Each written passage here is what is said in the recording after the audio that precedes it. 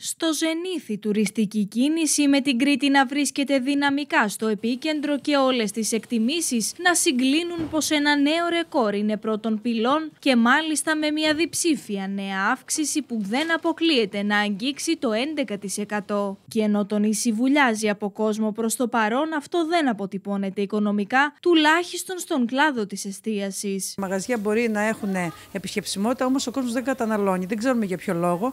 Ίσως έχει να κάνει με την παγκόσμια αγορά, ίσως έχει να κάνει με τις αυξήσεις των προϊόντων, τις ανατιμήσεις δηλαδή γενικότερα. Εμείς σε κάθε περίπτωση έχουμε προσπαθήσει πολύ να έχουμε χαμηλές τιμές στα μαγαζιά μας, γιατί ακριβώς θέλουμε να μένουν οι πελάτες μας και όχι να φεύγουν. Όμως δυστυχώς το πρόβλημα είναι γενικότερο και το βλέπουμε καθημερινά. Πάντως δεν έχει καμία σχέση αυτό που περιμέναμε σε σχέση με τις προηγούμενες χρονιές. Εμείς επενδύουμε σαν σιτία στον τουρισμό, πέραν τον πρωτογενή τομέα και άμεσα ο σύλλογος μας θα προβεί στο επόμενο διάστημα σε διάφορες κινήσεις ενδεχομένως διαφήμισης να απευθυνθούμε για άλλη μια φορά στην εσωτερική αγορά.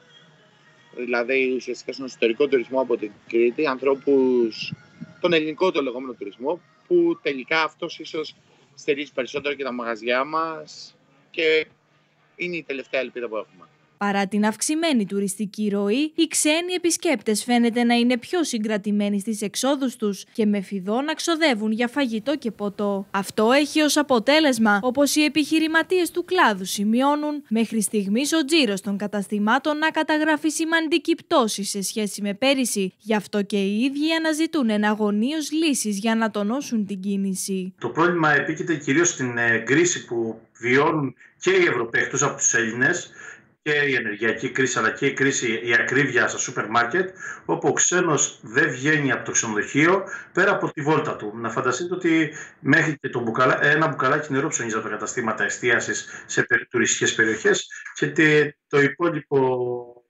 το, από όσον αφορά την διατροφή του αλλά και, τη, και τα ποτά του τα ε, παίρνει μέσα στο, ε, στο ξενοδοχείο που είναι πληρωμένα. Ε, βλέπουμε να ανοίγουν τους καταλόγους για να τους κλείνουν και στεναχωριόμαστε γιατί βλέπουμε ότι πάρα πολλά μαγαζιά έχουν, δεν έχουν προβεί σε αυξήσεις.